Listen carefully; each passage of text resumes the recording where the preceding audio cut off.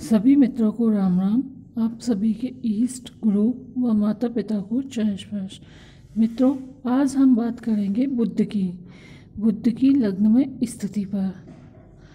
तो पहले जानते हैं बुद्ध ग्रह क्या है। बुद्ध ग्रह राजकुमार अर्थात युवा ग्रह है तथा यह बुद्धि व व्यापार का कारक ग्रह है।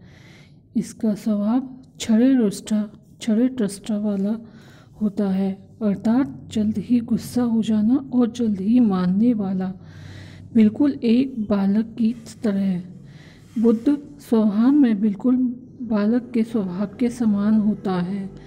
अतः बुद्ध को समझने के लिए आप एक बालक को समझते, समझिए, जैसे एक बालक अपनी बोली से और रूप से सबको अपनी ओर आकर्षित कर लेता है। वैसे ही बुद्ध प्रधान जातक भी अपने रूप व अपनी बोली से सबको अपनी ओर आकर्षित कर लेता है। ऐसा जातक काम की शुरुआत तो बहुत अच्छे से करता है, लेकिन धीरे धीरे वह उस काम में ढील देने लगता है। जैसे कि बालक के रूप में ही समझिए, जैसे कोई बालक है और उसका कोई नया खिलौना आता है तो शुरू में वो उससे बड़े शौक से खेलता है। लेकिन धीरे धीरे उस खिलौने से उसका लगाव कम होता जाता है और कुछ दिन बाद वह दूसरे खिलौने की मांग करता है। बुद्ध प्रधान वाला जातक अपनी बोली से बड़ी से बड़ी सभा को बांधने वाला होता है। लग्नगत बुद्ध वाला जातक सुंदर, बुद्धिमान मृदुभाषी मिलनसार यात्राओं का शौकीन होता है। ऐसे जातक को गणित की अच्छी जानकारी होती है। ऐसा जातक एक कुशल व्यापारी होता है। लग्न में बुद्ध अपनी राशि में हो तो भद्र नामक महापुरुष योग बनाता है, जिसके फलस्वरूप जातक एक राजा के समान जीवन जीने वाला होता है। लग्न में बुद्ध वाला जातक तेज स्मरण शक्ति वाला होता है। ऐसा जातक आस्तिक होता है। ऐसा जातक विनोदी, विद्वान व दीर्घ आयु होता है। ऐसे जातक को हवाई यात्रा करने का बहुत शौक होता है। ऐसे जातक की इच्छा सदैव नंबर वन पे रहने की होती है।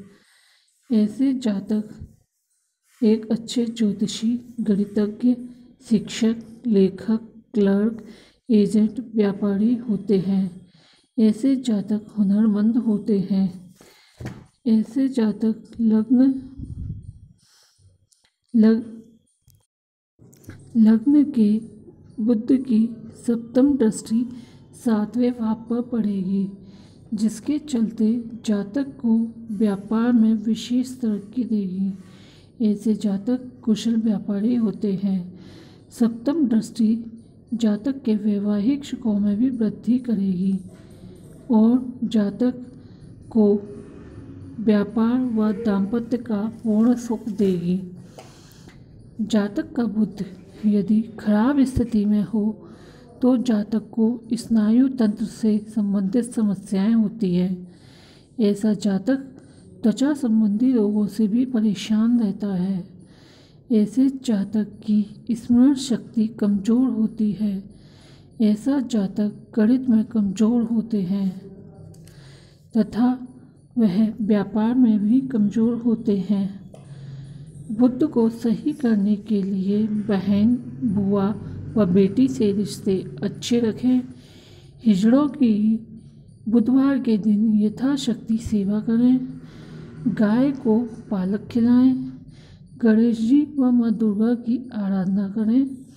हरी वस्तु जैसे साबुत मूंग पालक, हरे कपड़े, हरी चूड़ी का दान करें। मित्रों, अगर आप बुद्ध के विषय में अधिक जानकारी प्राप्त करना चाहते हैं या अन्य कोई ज्योतिषीय परामर्श लेना चाहते हैं तो स्क्रीन पर लिखे नंबर पर कांटेक्ट करें। व हमारे S S astrology research group के विषय में कोई सुझाव देना चाहते हैं या अधिक जानकारी लेना चाहते हैं तो हमें कमेंट्स बॉक्स में लिखें या फ़ोन करें। धन्यवाद।